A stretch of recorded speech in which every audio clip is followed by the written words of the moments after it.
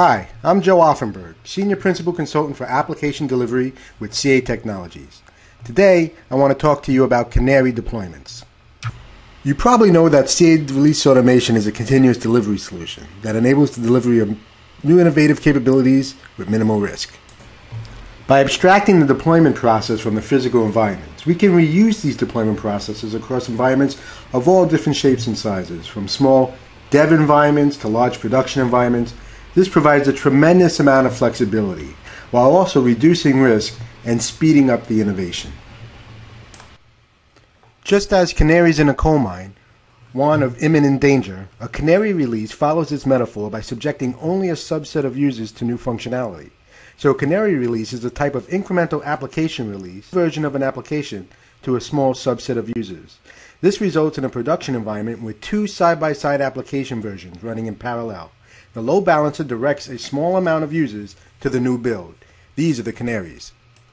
Let's take a look at how all this works. In this example, we have a production application that's not performing too well. This is a financial trading mobile application. If you see here, the response time has been pretty poor and above the acceptable threshold. We're going to switch over to release automation now because we have a new build that can resolve this performance issue.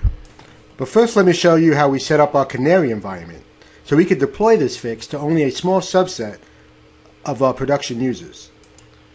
We see our production JBoss server actually consists of 10 different servers that make up the environment. So I'm going to remove two of them and put them in the canary environment.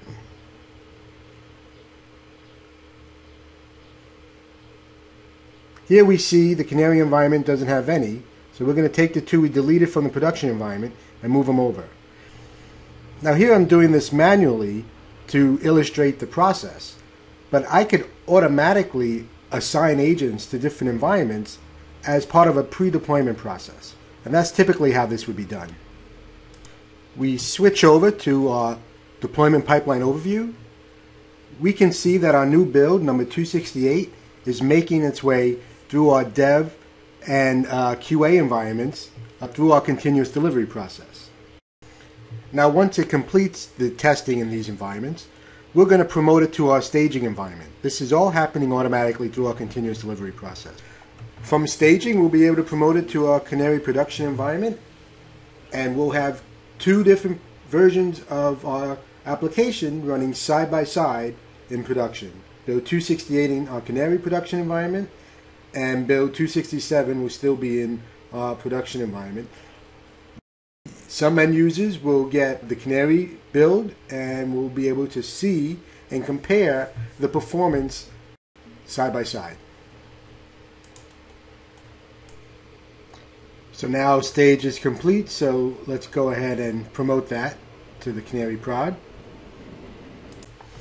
And once this Canary Prod deployment executes and completes successfully, uh, including any post-test that might be required, we can go ahead and switch back to our CA Application Performance Management tool, which does real-time performance monitoring, and we'll be able to compare the two environments and see if the fix actually resolved the response time issue that we were seeing in build 267. And now our two different builds have been running parallel in production for a little while now. We can see the response time difference here.